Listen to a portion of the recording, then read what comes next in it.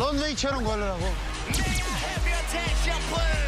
오, 저기 비키니 입으신 분들도 많은데요? 아, 그래요?